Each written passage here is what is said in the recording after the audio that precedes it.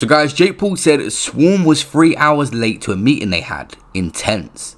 So guys, I followed this story for a while and Swarmz actually just randomly went on a TikTok live with a bunch of people and he was asking him would he fight KSI and who would win and he just said he would smoke KSI. Then after that he just kept calling them out. Mums, JJ, how do we sell a fight? You and Swarmz made a song together. JJ, well, he was once three hours late to a video shoot we were doing. That made me very upset. He said, okay, I'm going to sleep now. Wake up if KSI grows some courage. And also, when Tommy pulled out, we gave the fans a choice to refund their tickets if they didn't want to see the replacement. KSI and the O2. How do the fans get refunds? Someone said to KSI on Twitter, bro, surely fighting someone with zero experience in the ring won't really help you get rid of the ring rust. It won't prepare you for any opponents in the future who have actually got fight experience. I respect you, JJ, but surely there's someone other than Swarmz. KSI said Swarmz would beat Wasabi, bro. Let's 100% be honest here.